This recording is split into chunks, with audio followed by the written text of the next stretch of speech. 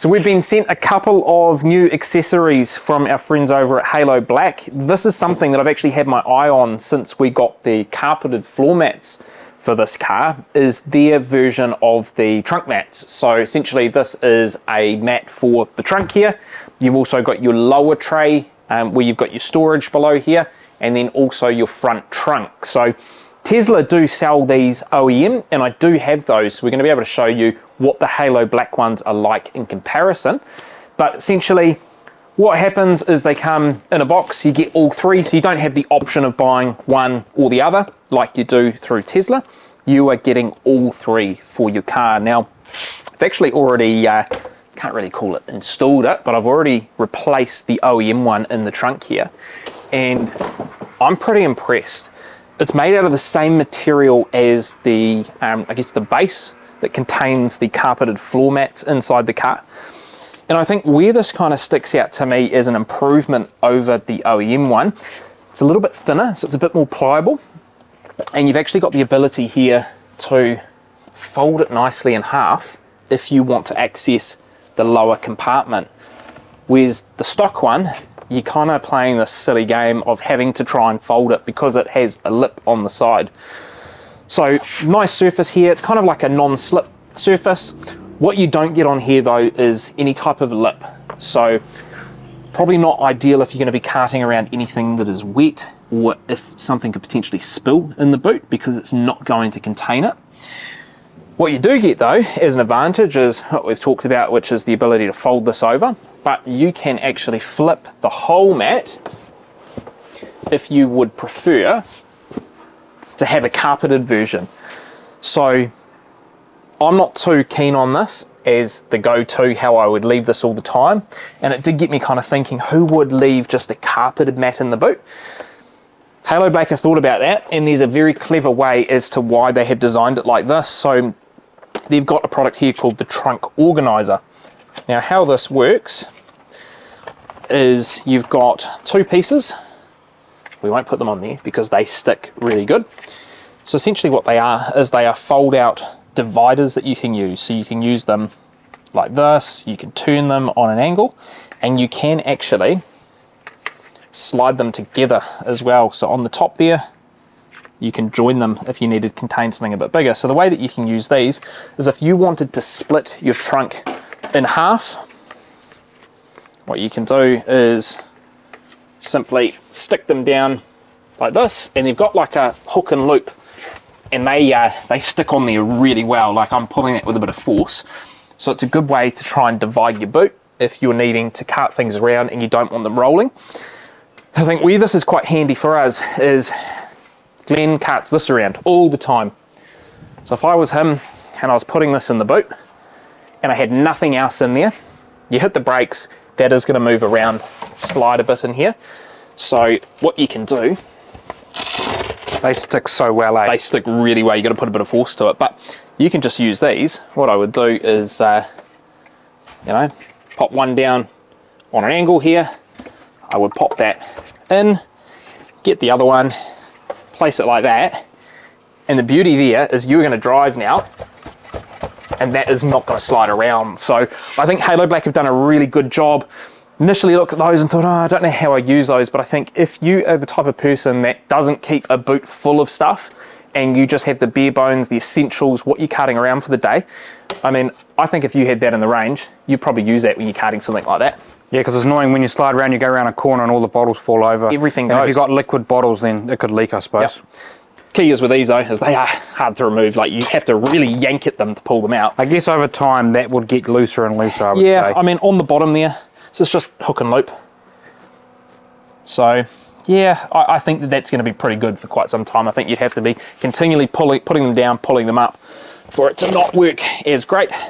But I think those are something handy that you can just keep in the boot and you know that at any time, if you need to cart something around, you can simply just flip your boot mat over and uh, use it in that fashion. So I flip that back over because that's how I'd typically travel with this car. We'd leave it this way and only flip it in instances where I need to make sure something's secured in there. Now, beauty of this, as we've said, is the existing loop in here is still accessible. So there's a little cutout there. So I can just pull this and the whole piece will now move, which means that I have access to the lower portion of the trunk here without needing to try and fold this. And we've got the second piece, which is our lower compartment tray. Now this one here does have a lip on it. So really handy if you are going to have anything on there that could potentially leak, anything that is wet. And I mean, that sits in there. Fitment is great. I'm really happy with how snug that is. I think it's a nice little addition down there. And then you've got the same for the front. So again, you've got the lip. This is pretty much identical to the one for the rear boot, except it fits much better in the front here. So what you've got in the front is obviously just that plastic line if you're putting anything in there, it is going to slide around. So I think this is key to have if you have one of these cars and it sits nice and snug. What I typically use up front here is this would be for takeaways. It might be for wet towels if we've been to the beach. And because this is got the lip on it, you can pull it out. You can rinse that out if you need to, if it gets dirty. And the fitment of this, let me tell you, is far superior to the stock Tesla one that you can buy. So I'll grab that and I'll show you why I would buy this over the OEM one. So this is the OEM piece. Now, fairly similar. You do probably have a slightly bigger lip on here. Like if I was to compare those, it does look like the lip is a bit bigger on here, but it's actually deceiving because this flops a bit at the front. If you actually sit that inside, pretty much identical there. Same with the front. So the reason why I prefer the Halo Black one is that when you go and put this in, the fitment is just a bit well, it leaves a bit to be desired, right? Like you've got these gaps where it doesn't quite fit properly. Just looks a bit janky around the edges, whereas if you put this Halo Black one in, the edge fitment, it's to the point where it's almost snug in there. You can see you don't have any gap around any of the corners, hence why I don't think you want the OEM one. I think you want to get the Halo Black. We'll go around to the back of the car as well and I'll show you the comparison between the stock OEM boot mat and the Halo Black one. So this is the stock, obviously it is a couple of years old, so it has been beat a bit. Your key difference in this one here, I think fitment is pretty good on this one here. So you do have the advantage of the lip. So, But what I'm seeing compared, you know, when you compare both of them is that the OEM one, like that plastic lip looks quite, what uh, it's quite flimsy. It is. And it's, it's, it's not rigid, you so, know, so like you see like even along here, see how it's really wavy? Yep. And it looks quite ugly. So over time it sort of gets all bendy, floppy. It just doesn't quite look as nice. Whereas the, the Halo Black one, the edges are rigid and I would say that they fit snugger, they're gonna stay like that and they just look classy. Yeah, and I mean the benefit to this is that you do have the edge, so you can put something wet on here, but your benefit to this one here is that you can flip it. So if you had an edge on here, gone is the ability to flip it and use that matte side. So I think that if I was having to buy one of these if I bought a brand new car because keeping in mind these cars do not come with floor mats, they don't come with the boot tray, it's pretty much like any modern car that you buy. These are all accessory upsells, they really should be included, but they're not. I'd have no hesitation in going out and purchasing the Halo Black set. I think the fitment is much, much superior. The only caveat to that is if I was constantly carting around wet items in the boot, I'd probably lean toward this one here. But keeping in mind there as well, it's not perfect, right? Like once this sits for a bit, that'll flatten off and you haven't got a perfect lip there. So yes, it might contain some water at the back. It's not at the front. So I think if I was going out tomorrow, rebuying these, the Halo Black would definitely be the ones that I would go out and purchase. So Halo Black also sent us their windshield sunshade umbrella. Now, umbrella is interesting here because you know your typical windscreen um, covers that you use are fold out and you kind of jam them behind your visors in the car. This is literally like an umbrella. So the way that this works is you literally just peel this off, that's attached so you're not going to lose it. And it's much like an umbrella where you have a tab here that you pull. So the idea is you'd be inside your car, you would hold this up to the windscreen and you would pull this and it clips into place there and then this sits on the front windshield this articulates down and props up behind the screen of the car to keep it in place there. Now I've actually got this upside down because you'd hook this piece here through your rear view mirror. So we'll go inside the car, I'll show you how this works in practice. Seems like a really great idea like this. Like I think that, oh yeah, perfect, this is really small They're really easy to just push up on the window, pull out, and you've got your visor in place. In practice, it's a little bit more finicky than that.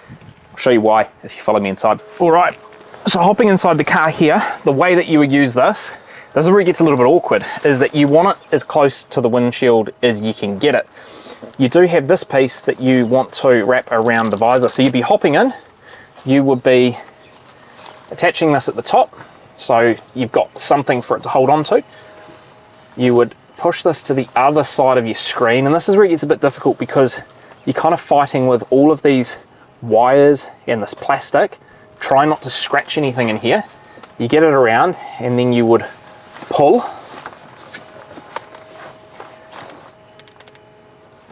You would put this on this side, lean it on your mirror here, and it's in place. So, I mean, in practice, it's going to be functional. So you are going to get that heat rejection, that sun rejection that you typically get from a standard visor. A little bit more convenient to pull it, I think. But I think your downside to this is, number one for me, probably the look. Like something darker would have been ideal. This might look all right on a white car, but I think with the darker gray car, black or a dark gray would have looked nice. Like this is really in your face, this color. But then if you hop back in the car, as you can see, you've got all of these wires, you've got all of this plastic, which pushes up against the back of here. Even this, yep, it's rubber, but it is going to come into contact with your dash. It is resting behind the screen there. And then when you go to take it down, all of those wires down here get really close to coming into contact. In fact, these ones are coming into contact with the dashboard. There's no way to fold this without hitting anything. And as a byproduct of that, what it leaves is a mark. If you come from the driver's angle, you'll see a mark where that Oh, I wish I could see it, but yeah, I can see it's like a smudging. yeah, it's like Do you want to point it out? So it- it's rubbed it so it's here. I think one of the frustrating things if I was to use this is that, yeah, look, these marks can wipe off. If you put a scratch on your dashboard, that's absolutely not going to wipe off. But for me, trying to get on top of the glass and get it clean and looking great is really, really challenging. And once I've got it clean, I do not want to be dealing with marks like that. I'd much prefer, I think, to use traditional visor where I would fold it out and I would jam it in place by putting both of these visors down. I think the concept of this is good, but I think in practice it's just a bit um, it's a bit clumsy the way that you use it, and I'm not willing to make that trade-off to have my really clean windscreen marked up on a regular basis. So for me, this is not something, unlike the trunk mat and the front mat, that I will be putting into this car and using on a regular basis. So we're one from two from the products that we've been sent today. One is going in the car and staying there, the other is not. But in terms of the other products that Halo Black have previously sent us, still fantastic. I would still rebuy them today. So those products would be the cup holder insert here. I find that really handy. That comes out quite frequently and I wash it. So if we've spilt anything in there, the benefit there is it gives you those little nibs as well. So we made a video on this. That is still in the car, still really enjoying that.